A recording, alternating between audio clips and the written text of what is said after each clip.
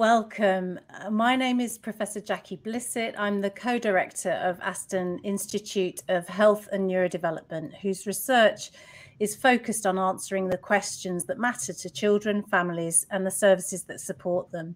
It's my great pleasure to welcome you to the first of our public lecture series on the theme of molecules to minds. And in this session, we will hear from Dr. Rachel Shaw and her colleagues from Birmingham Children's Hospital Paediatric Intensive Care Unit about the SWELL project. The SWELL project is a partnership between Aston University and Birmingham Women and Children's NHS Foundation Trust to prioritise workplace well-being for those people working in paediatric intensive care. Dr. Rachel Shaw is a health psychologist. She specialises in qualitative research and developing interventions in clinical practice. Rachel's the chief investigator on the Swell project. And we're also really lucky to be joined for discussion by Rachel Morrison, an advanced nurse practitioner and co lead of the Paediatric Critical Care Society Wellbeing Specialist Interest Group. Rachel is the principal investigator at Birmingham Children's Hospital. We also have Sarah Webb, who's an advanced nurse practitioner at, at Paediatric Intensive Care Unit at Birmingham Children's Hospital, and Dr. Heather Duncan, a consultant intensivist at the same unit. We'll be taking questions at the end of Rachel's lecture in the discussion, so people can post questions and comments in the comments uh, section while Rachel is presenting. So without further ado, it's over to Rachel to hear more about this project. Thanks, Jackie. Hello, and welcome to the Swell Project. So, we're interested in the Swell Project in understanding and improving staff well-being. And as Jackie said, this project is focused at Birmingham Children's Hospital, and we're working together with them to help improve staff well-being in paediatric intensive care.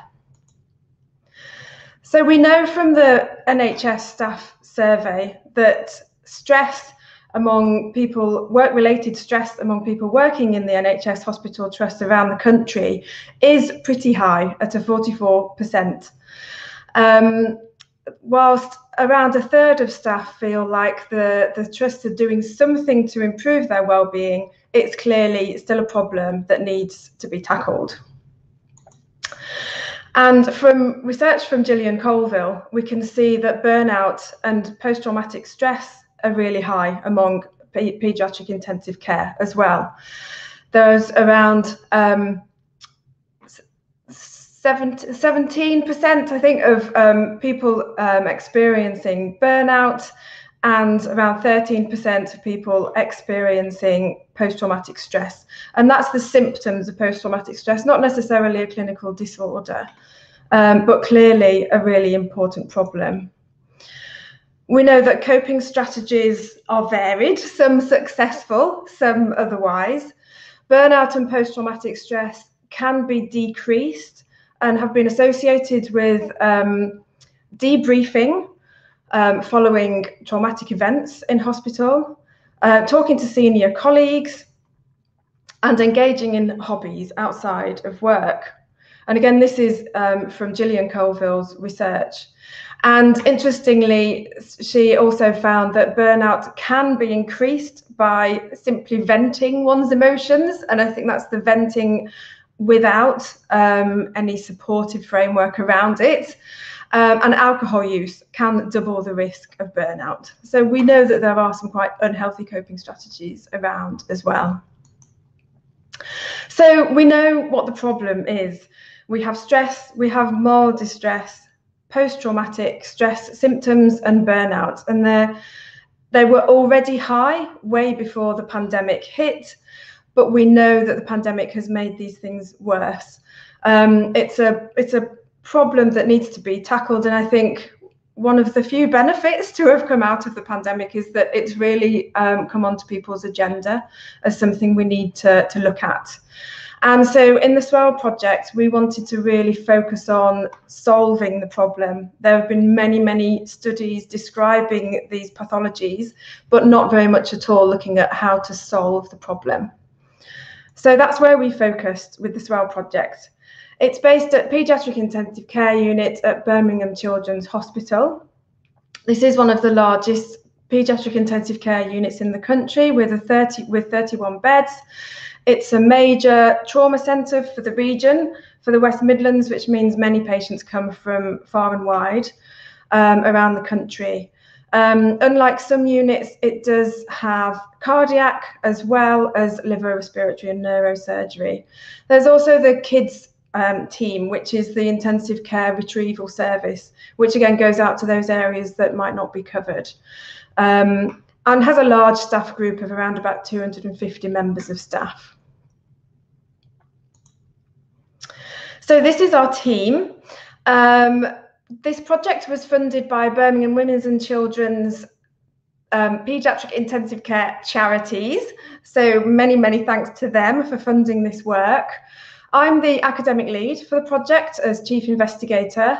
We had Isabel Butcher as project manager, work, working wonders on the project and being the most efficient person I think I've ever worked with.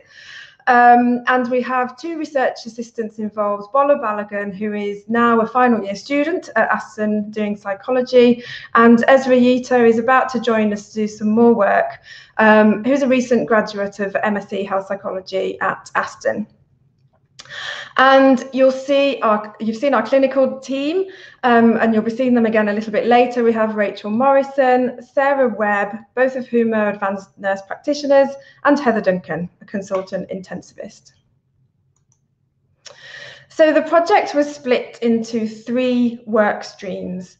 The first was we wanted to really look at what is currently happening in the unit to improve staff well-being we know, well, I knew from many years of collaborating with Birmingham Children's Hospital previously that the staff are really highly committed um, to boosting their own well-being and to supporting each other.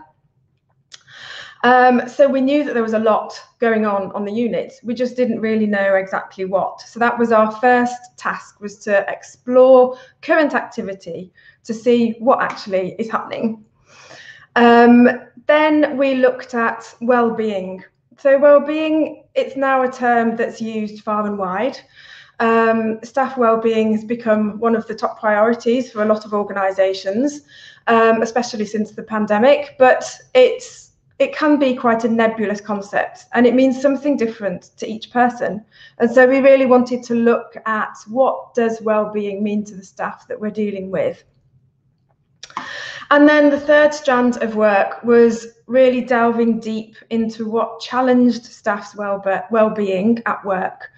Um, so really focusing in on those kinds of challenges which might happen to them in their personal life, but also the challenges to their um, well-being whilst at work. So the things that were particularly unique to the um, paediatric intensive care unit context. And so our first task of auditing wellbeing activities showed that PIC staff are doing a lot um, to boost their own well-being. Um, and they're working in lots and lots of different ways. Um, many of these kinds of initiatives to improve well-being pre-existed um, you know, the, the pandemic. Quite a few of them were introduced during the pandemic. And some we hope will be maintained um, over a longer period of time. So we, we looked at all of these different initiatives, 40 different initiatives were identified, and we categorized them into three groups of kind of informal kinds of activities, um, more formal training programs, and structural interventions. We then um, did some health psychology magic where we looked at what were the active ingredients of those um, initiatives. And I'll talk through that a little bit more in a minute. And with the intention being that doing all of this work would help us look at what are the likely successful factors within um, interventions to improve staff well-being. So these are all the um, different initiatives that we identified. And the ones that we coded, well, we coded all of them, but the ones that were coded to have identified the most um, psychologically um, theoretical components were those that have just appeared in red. So these were the interventions that were more formalized. Um, they had clearly been developed um, with the with the evidence in mind and they clearly had those kinds of active ingredients that we know are likely to be successful. So these were those active ingredients. We call them behavior change techniques. Uh, Susan Michie's Centre for Behaviour Change at UCL developed this behaviour change taxonomy a number of years ago. It's based on a number of um, reviews of the literature, which has identified what kinds of techniques are likely to be successful in different kinds of environments in behaviour change interventions. And essentially, if we're developing a behaviour change, if we're developing a well-being intervention, something that we hope will boost staff well-being, essentially we're wanting them to change their behaviour in some way. And so these were really important to, to identify them, to look at the, the evidence inside um, the existing interventions and to look forward at what might be the most successful. And if you can see on the screen, they're perhaps not entirely surprising. Um, so social support was really key to a lot of these initiatives. Goals and planning may be a little bit more surprising, but that's really where prioritizing well-being is uh, becomes um, a key objective of the intervention. And so that's by thinking about what well-being is and making goals and plans as to how to make that happen. So trying to think about what is well-being for you and planning, specifically planning when you're going to get to that place so that you can you can feel that boost of well-being. Self-belief was found to be a really key ingredient in these um, initiatives and that's related to self-efficacy. So that's one's uh, one's confidence in one's ability to do something. Um, we all know from our own experience, you know, when we're feeling a little low, perhaps when we're feeling under pressure, our self-confidence also kind of falls through the floor. Um, and so it's not surprising again that the initiatives um, that, that staff had developed to boost well-being involved boosting that self-belief as well. Feedback and monitoring are important because that's really about noticing um, what you're doing, noticing a difference in the way that you're feeling so that you can then begin to recognize as you go forward what it is that makes you feel better and what it is that makes you feel challenged. So that then you can focus on those things that make you feel better um, and, and try to take a more um, mindful approach um, to working on your own well-being and shaping knowledge. And so this is about helping people develop strategies to boost their well-being to develop their knowledge in that way. It might also be helping to shape knowledge in relation to um, seeking support. So accepting that vulnerability is a thing that exists and it's not something that should be hidden but is something that, that we really need to acknowledge and that in order to learn from that and to take it forward into into our future practice. And so those are the things that we think are likely to be successful um, and clearly are currently um, in use on the unit already. So support um, is important from a number of different places, whether that's formalized support from psychologists or more informal peer support, prioritizing and planning um, well-being conducive activities, so really making space for those things to happen, monitoring and feeding back, so making sure the conversations are had, boosting one's confidence at work and training to build staff confidence. Um, and especially in those non-clinical areas like communicating with parents, for example. So our second piece of work then really focused on what is the meaning of well-being. And as I said at the beginning, this is a really quite an abstract concept. Um, when you start to think, well, actually, what is well-being to me? It's it's difficult to put your finger on it. And we know that putting things into words can be really tricky. And so we used a method called appreciative inquiry, which has a kind of um, a dream function where we kind of dream and imagine what what, what well-being might mean to us. And we further prompted that by showing people a series of pictures. So you can see some of those images on the screen. And what we asked of staff was um, to highlight just any one of those images if that felt like it represented well-being to them. And then that stimulated a conversation about why that represented well-being what it was that made them feel that sense of um, contentment or peace um, and really explored that with them. And our researchers Isabel and Bola, as well as Rachel and Sarah on the unit, collected these data from a really great number of staff on the unit, which was really fantastic. We've had such amazing participation from, from colleagues, which just shows how important this is to them. So I just wanted to give you a little glimpse um, about what the meanings of well-being were for the members of staff that, that we interviewed in this um, second work stream. And you can see the themes there, which we've kind of um, described as prerequisites for well-being. So the, the things that need to exist in order for one to, to feel good, to have that sense of well-being. And so the themes were being nurtured and supported at work. And that included being listened to or feeling like, like one is being listened to um, and feeling in control. The second theme was the importance of nature. And we know from growing areas of research that being in green and blue spaces, being outside in the outdoors really does boost people's well-being. And we found that um, being active, so people were describing not just being outside, but being active boosted their well-being. But then for others, it was just a sense of peace, of being in the moment um, and really taking in, um, being mindful of, of how it feels to be outside.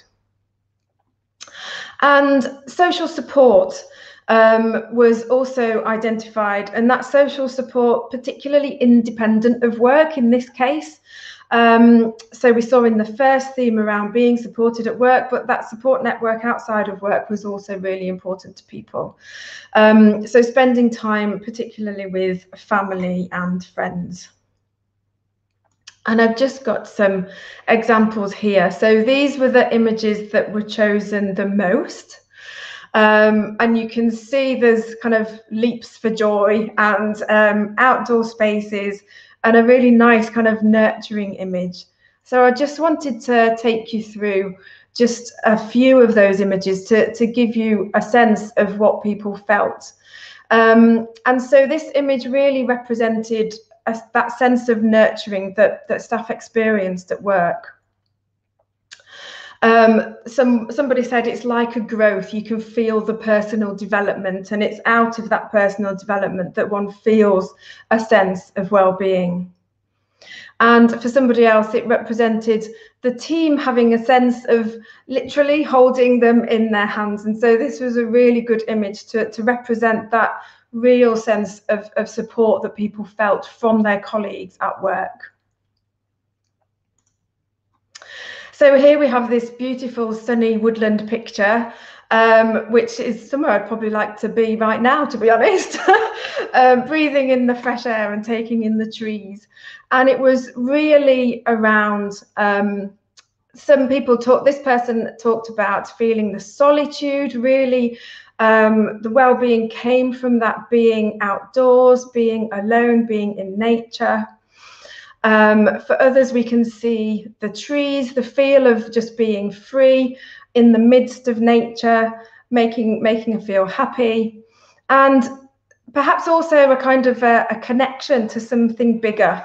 Um, so maybe something around escaping into nature, feeling a detachment from the workplace, um, and perhaps yes, that more kind of connection to to something bigger. And here we have a lovely image of a lovely laughing toddler, which for one of our participants really represented a sense of joy um, and represented the feeling of well-being experienced when spending time with their own children. Um, spending time with loved ones was something that was raised on a number of occasions by a number of, of colleagues working in paediatric intensive care as uh, from many of the rest of us, I'm sure, as well. So we know, therefore, what well-being means to staff. And we know from the literature that this really resonates um, with what other people's research has found as well. Um, so that sense of um, feeling valued and being listened to, having that support um, and feeling of being nurtured at work was really important. Being in nature, um, taking time to be outside and spending time with family and friends. So as I say, you know, it's not rocket science, um, but unfortunately, you know, lots of the time, these really quite simple things can be overlooked. And this really brought home a really clear message that we need to pay attention to this and we need to give our staff opportunities um, to experience well-being. And the final part of the project was delving deep into staff's experiences, um, particularly quite um, critical experiences that had challenged their well-being. And we asked people to talk about things that might have challenged their well-being at work, but also things at home, outside of work life, because we know that you know we can cope with a certain amount of stress coming from a certain place um, so, for example, being stressed at work, we can kind of manage with so long as everything is okay at home. But if things are also um, quite challenging at home, then that can also be, be difficult. Um, and it's that kind of cumulative effect that can really challenge um, staff's sense of well-being. And so we, we gathered lots of stories from lots of staff. You can see we had 53 people participate in this section of the research. Um, with a really good spread across the different clinical groups working on the unit in Birmingham. Um, and the numbers that you see are quite representative or proportional rather I, sh I, should say to the numbers of staff in those different working groups. So you can see there are more band five nurses for example than others. Um, so we were really delighted that people took the time out to take part um, in this element of our research. And I think some of the clinicians that took part really quite surprised themselves and they talked for quite lengthy periods um, and really felt um, that that did them some good. So um, talking about their well-being uh, um, and airing these these feelings really really helped them as well. So I've just got a few examples um, to talk through. As you can imagine, there was a lot of data. We've been speaking to the, the managers at the unit in Birmingham as well as to the trust. So we have a whole set of recommendations for them. But this is just to give you a bit of an idea of some of the topics that were raised. So the ageing workforce was one. And this really relates to shift work, shift work becoming more challenging as one ages, and particularly working night shifts. So recovering from night shifts gets harder as we age. And of course, well, usually as you're aging, you're also becoming more experienced. And so it was really on people's wish list for things that, that might be changed um, as a result of this work was to really think about the longer term planning in relation to shift work so that we can um, take advantage of the expertise in the clinical team, but also work through shift patterns so that we can give those um, younger, often more um, less experienced staff um, opportunities to grow as well, so that we're we're finding a balance um, in order to help those um, those in the older sectors of the workforce to plan their time in a way that suits their capacity best. And so we have one um, extract here from a medical practitioner on the unit. As you get older, you get punished for not getting enough sleep. On call affects your mood. You can get low moods. Your mood is not good. And I felt like I get angry more easily. And then sorts of things because you're just tired. Your bucket fills up more quickly when you're tired. And part of being a clinician um, is working as a team, as I've talked about earlier, but also when things happen in a clinical high pressure environment like paediatric intensive care, sometimes things can go wrong. Things don't perhaps always go to plan. Um, and these need to be investigated. So these could be a range of, of things related to patient care. It might be that there's been an error in medication it that may have caused no harm at all. It may have caused um, minor harm or been more severe. Um, it might be a grievance that's been reported to HR. It could be something involving the Professions Council, so perhaps the General Medical Council or the Royal College of Nursing. So a whole range of different things that people may have to deal with.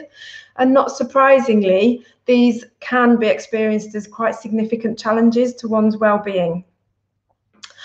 And so the things that were helpful, however, to people in these challenging situations was the support that was provided by their senior colleagues. When people felt able to share their experiences with their colleagues, they, they were able to deal with those challenges better. Um, and so really this the wish list in, in this area comes down to having more transparent processes, having resources available so that once a person finds themselves in this kind of situation, they know what the process is um, and the um, th those kind of difficulties of not knowing the process can be overcome that way. And so here we have an extract from, from one of the nursing team. If the person investigating wasn't so supportive, it could have made it quite a different experience. But in my experience, it was a it was positive. I felt well supported. And we can see some of the members of the team there on that photo. And it's also important to think about psychological safety um, in any team, but particularly in a team where we're working with life and death. Um, and so here we, we see a couple of extracts that show that there is a feeling of psychological safety on the unit. There is a sense of support. And so we, we see here that PIC is described as a place that gives you a real psychological safety because you feel you can say what you think. You won't be judged for making comments and we're, you know, we're included. And that's our senior leadership team, both the nursing and the medical directors. And so it's having that feeling of trust, being able to have open conversations that really does support well-being. And when those things are lacking, it can it can make things particularly difficult for staff. And here we have an extract um, from somebody. Um, oh, I can't see the bottom; it's chopped off my screen. so thinking about um, the the changes in the way that working with patients has made staff feel challenged in more complex ways. So we're now seeing in PIC um, more complex chronic cases, which previously may have been more acute, but thankfully children are surviving better for longer. However, this means relationships between staff and their patients uh, are changed. They can be more long-standing relationships, which changes the way that staff feel. They may develop a, a, a, kind of bond with their patients and their families. And of course, in paediatric intensive care, staff are not just dealing with the patients, in fact, they're usually dealing with parents who are going through their own stresses and challenges as well. So the, the the possibility of moral distress, feeling unable to do what one wants to, is really clear in that extract there. And of course, to, ha to have a good sense of well-being, we all need to be well fed and watered um, and well sheltered as well. And so there were lots of comments, as you can probably imagine, um, around the facilities. Um, sometimes they were felt to be not quite adequate. There are some noisy spaces. Um, there was a, a feeling of a lack of a quiet space. And so on the wish list here, we have people wishing for perhaps more comfortable um, chairs and seating, tables and chairs to sit and eat at, but also different kinds of spaces for when people need rest and need sleep as well. So we know from this work um, on the Swell project what helps and what hinders well-being. Some of these things are relatively simple to fix. Um, and just this week, we've seen that the provision of hot food around the clock um, can be possible with just you know pulling some strings and working together with staff on the unit. Um, there was a real sense of um, a, a, kind of a lack of, of food being available, especially on night shifts. And so just changing that makes staff feel more valued. Some things are more difficult and they require support from the trust. Some might need um, further investigation and indeed more evaluative work. And that's really where we want to move our focus now. So we know that in, in many ways, what, what we've found here isn't particularly new. it resonates really strongly with existing psychological theory. And um, organizations like the General Medical Council, for example, are taking on theories like this, the ABC of well-being. So having that sense of autonomy, feeling like you're in control, a sense of belonging, that real close sense of teamwork and nurturing that we that we found and that competence so that self-belief boosting one's self-efficacy really really important so these are the three key ingredients to to boosting staff well-being and whilst it's not especially new, we're really proud of, of the data that we've generated and the really in-depth accounts that staff from Birmingham Children's Hospital have given us. Um, and it's it's been really great working with the people at, at the Children's Hospital on this Swell project. So what's next? Um, we know from our work what's likely to work um, in terms of those behavior change techniques, those active ingredients. We know what well-being means to staff, and that is, is supported by existing evidence elsewhere. And we know what helps and hinders their well-being. And so we want to do more of the helping and less of the hindering. So our next tranche of work will be looking to evaluate um, we need to test the feasibility and acceptability of well-being interventions. And whilst I mentioned how enthusiastic and committed the staff are on the paediatric intensive care unit at Birmingham, there's the kind of lack of patience to get things done sometimes means that the um, arduous tasks of evaluating don't happen. So that's where myself and my other academic colleagues come in to say, right, we need some structured measures here um, to really do some good quality research to identify what would make these interventions feasible, what would make them acceptable to staff on the unit. And of course, our key outcome measure will be staff psychological um, well-being. So what it is that looking before and after that might improve staff well-being on those psychological measures.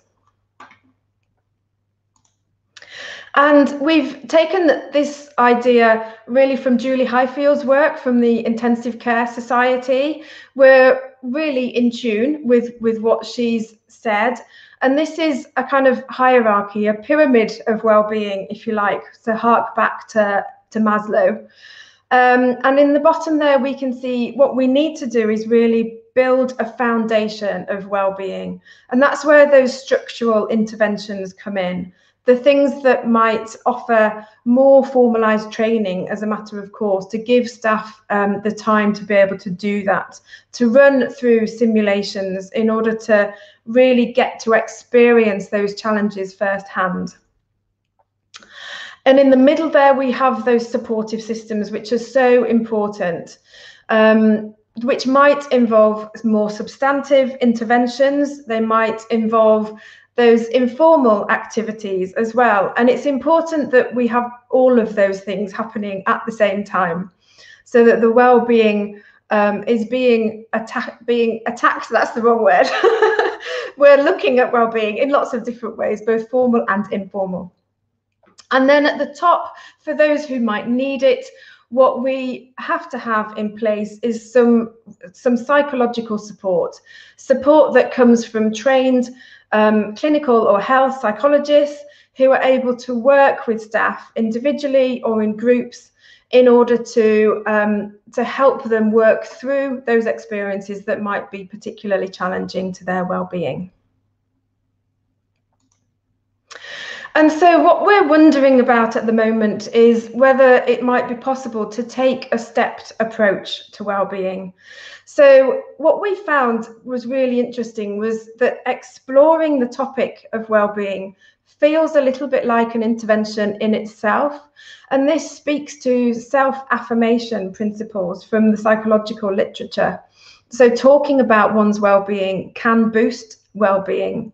And so it's having that exercise, perhaps showing people those images on a, you know, on a random basis and asking them what it is that makes them, that feels like well-being to them.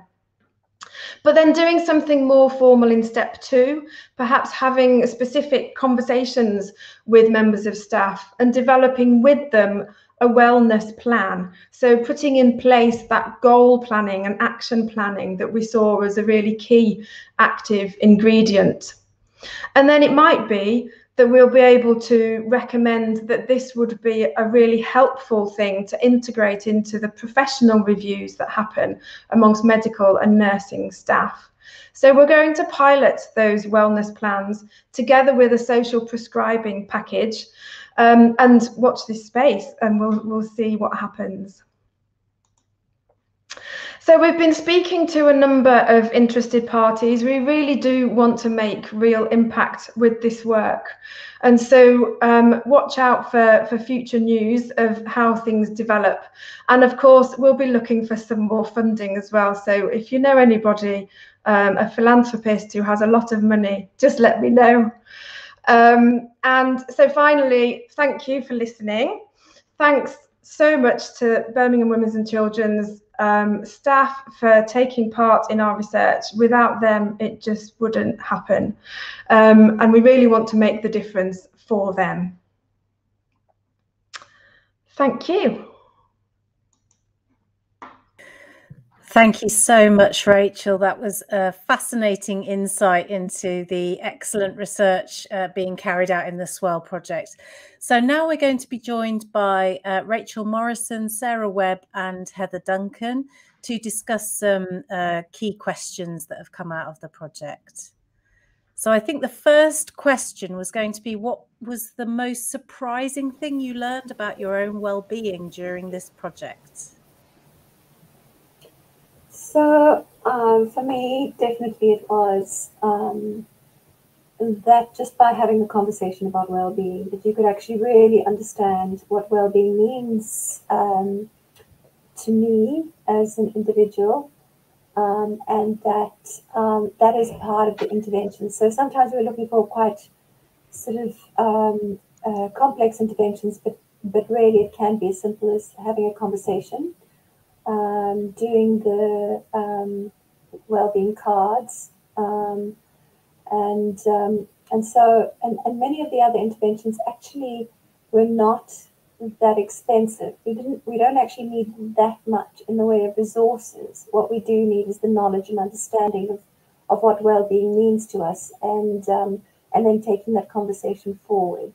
Um, so that's that was really surprising to me to discover. Thanks, Heather. Any any other comments from any of the other speakers? I think that links with the second question quite nicely, actually, which was um, what were the quick wins for the Swell project and the the basic needs, the um, feeding people. You know, that was actually quite a quick win. You know, providing the the food and like an honesty box for that that was quite a quick win and a quick fix. So not everything has to be so so huge. There are some big things that need further investigation and intervention, but the quick wins were the people need feeding, people need food and water. This is a basic thing. Let's do it and rest. Mm. Let's provide a space for people. That you know these are the basic basic human needs. So that was a quick win. And like you said, the cards actually that became a uh, the appreciative inquiry became a well-being exercise in itself, and that was a quick win that actually is fairly transferable.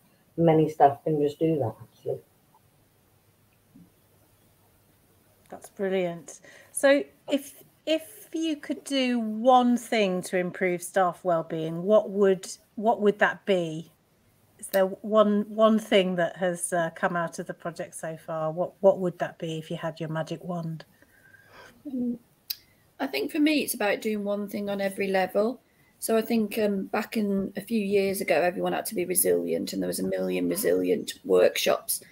And it's a bit like um, one of our psychologists always likens it to the canaries they took down the mines, and you just had to make a better canary that would deal with the toxic gases. And then we went very much that paternalist, oh no, we need to do everything for you. Um, but actually, what I think what we've learned, you need something on every level. So I think on that massive organisational level, I'd go as far as the country and the government, and there has to be the right resources put into things. So somebody that really resonated with me described it as the dancing in the blitz. So they were saying like in the blitz, in the war, you put on these dances to keep everyone happy, and that was good and good for their well-being. But you still have to solve the war. So there's a definite thing at societal level about the right resources being in there in the NHS. And then I think when you come down to organisation, a big thing is those layers, which um, Rachel referred to in her talk. Um, I think previously what we learned in our organisation, we went very much for the top layer. So we had counselling in place and you could go off and get counselling. But why are we waiting for people to be broken before we start doing stuff? And actually, what we found in our experience, people didn't go because they hadn't made relationships. So by putting someone in place that's responsible for it, and I think Michael West talks about this a while ago in one of his reports, somebody has to have responsibility for that and almost do those first two layers to make the relationship so that people can engage. And then I think on a personal level, you have to plan for your well-being and plan how you notice it. And um, I started asking this question in PD in our performance reviews: How will I know if you're stressed? And actually, even at senior level, people couldn't articulate that. So just encouraging people to notice it.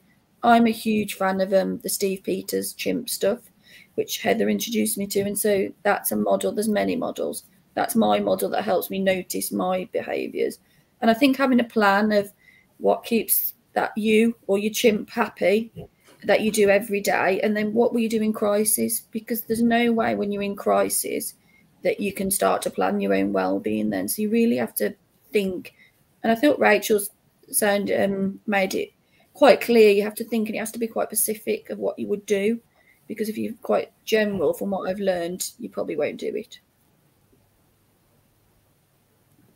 Thanks, Rachel. That's that that's that's fascinating, and and I think what what really struck me as as as you were presenting, Rachel, was, um, and uh, this is sort of what, what Heather and, and Sarah were also saying is is is the, the real basics actually that really matter here. That the the the feeling in control and feeling listened to, being able to wash and eat and you know that that very basic level of, of of being looked after as a human being is is is just seems to be so key. And um, yeah, I, I, I, I hear what you're saying, Rachel, about this development. You know, we must all be more resilient, but actually, there are so many things that we can do, aren't there? That that will um, that will that will help us just on that everyday basis. Um, so fascinating, thank you. We've got a, a couple of questions um, and comments uh, in the in the chat. So the first comes from Dwayne Meller, who asks, um, were any themes linked to spirituality identified, either religious or non religious? I don't know if any of you want to. Yes, Dwayne. I think. Yes, um, yes, they were, and I think explicitly by some in a religious sense, because there are a number of staff on the unit who who are religious. But I think especially with that quote that I showed you about the connection to something bigger, I think that that de- that denotes a sense of spirituality um, and feeling that we're not. I suppose it's a sense of feeling that we're not alone, that we're we're in something bigger, and that we can, you know, get through this with these bigger with this bigger world around us. So if anybody else has anything more to say on that. I think just to maybe highlight, um, a lot of people, our chapel is really beautiful, and that people went there sometimes to pray, but actually, it's just to have a space that was quiet and peaceful. And sometimes it's a chapel, sometimes we have got a nice garden at work, and um, I suppose for me, space and peace feels like it's connected to that spirituality.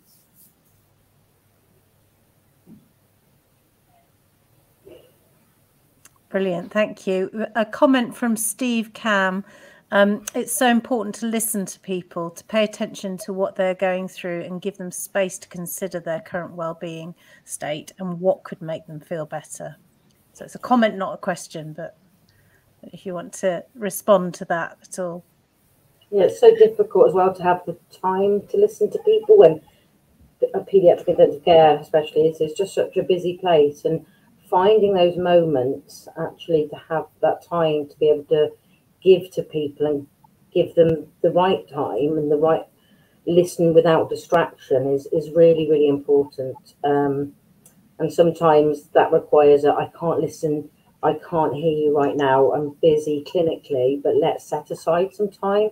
And there are ways to make people feel heard without actually having to do it in the moment if that isn't appropriate because of other things. So uh, definitely being listened to is and and being heard.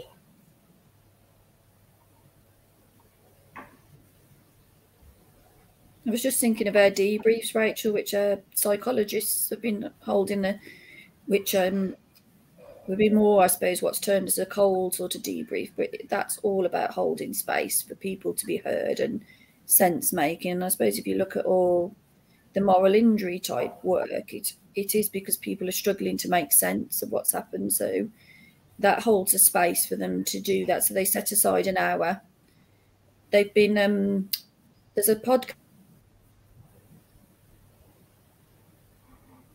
Oh dear, I think we've lost Rachel. Cast on the Learning for Excellence oh, website from one. Oh, sorry. I was just saying there's a podcast from one of our psychologists on the LFE site about it and also making it practical. She talks a lot about, you know, probably traditionally with psychologists, you had to commit to the hour, but actually trying to make it practical so people can dip in and dip out. They can use the chat, they can have their camera off and trying to make something that's not traditional but fits and it gives something to the staff. Do you find um, that that that kind of um, need for psychological support is more recognised after a, a traumatic event or something that has happened in in the in the unit rather than the kind of general everyday um, fatigue that must come from working in such an intensive space? Is it is it kind of more? Do people sort of accept or, or are more ready to to seek that that more, um, I suppose, formal uh, type of, of well-being initiative when something mm. has happened, rather than the kind of day-to-day grind of, of of just working in that in that kind of very stressful environment? I think we're very good at recognizing when something traumatic big like that happens. So we recognize and support. But sometimes, actually, the day to day grind, sometimes it's the thing that fills up your bucket more. And so, actually, regular debriefs and catch ups with people can scoop up that kind of day to day rather than just, uh, oh, they've just witnessed a traumatic cardiac arrest or a sad death we're ready for that, not ready for those, but we're prepared for that afterwards.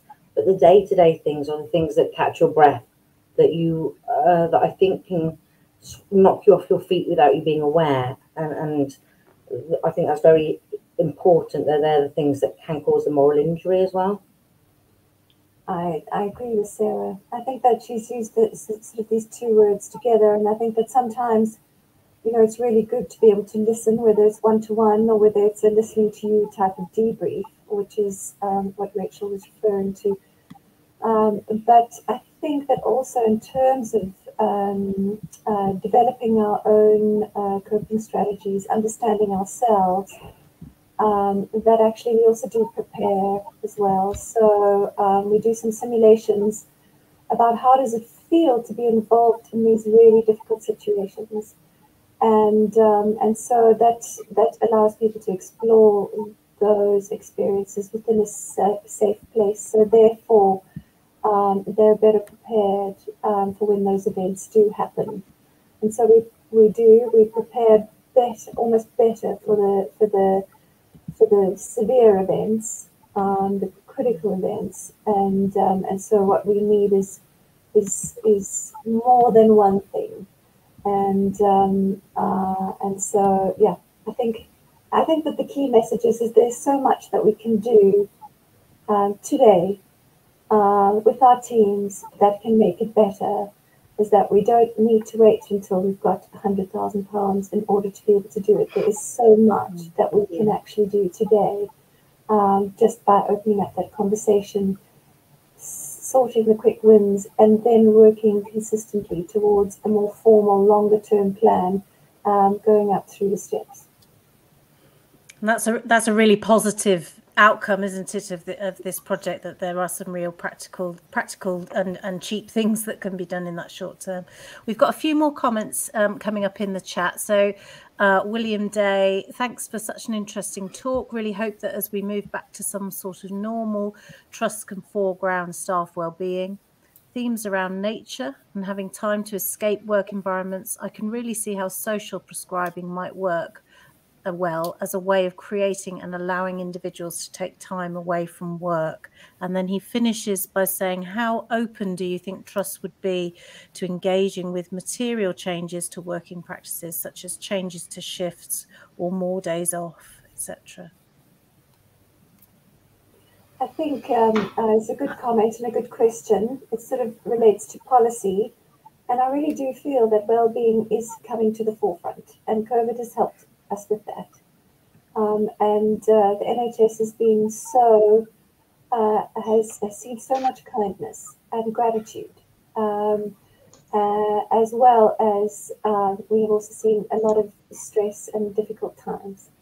Um, but I think that the combination of those two things has meant that, you know, the, the governing bodies and the policy makers are really starting to prioritize well-being but at a, at a ground level, what we really need to do within our teams is to make sure that we have the right culture to allow that to flourish. And so um, you can't just do everything by top down funding and policy. You really do need to have a culture of kindness and gratitude and compassion um, in order to make these sort of changes work. Thanks, Heather. Any other comments on that theme? Okay, we have a um, another question from Dwayne. The material changes are needed.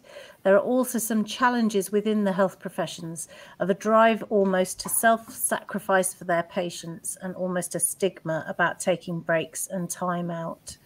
Does that resonate with any of mm. you?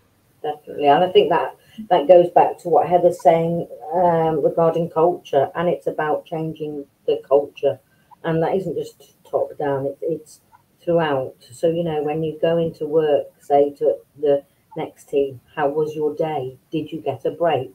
And it, these are small things, but I agree. I think I think I've, I've worked in the NHS for 22 years, and sort of 10, 15 years ago, it was very much like, "Oh, taking a break's cheating." Type thing. And, and I definitely agree. But I, I think that that culture is changing. Now we're very much, when we go on a night shift, we have a little huddle and say, right, who's having which break? Well, let's try and accommodate breaks. And I think we have sleep pods and, you know, it's there's lots of people doing research on sleep, on on breaks, all of this stuff means that the culture is changing. Um, and that's that sort of thing is the only way that it will. So that's another hopeful and positive message, isn't it? That that, that this culture change is possible. Um, A comment from um, E. Nishimura. Thank you for organising this talk. BCT, I'm guessing that means behaviour change techniques, very timely, um, and how to apply it in the real world. And I, I guess that's the challenge for all of, of, us psychologists, isn't it? How to how to translate the, what we know about behaviour change techniques into actual behaviour changes. that's the challenge. What would you say about that, Rachel? Making that step from understanding through to intervention.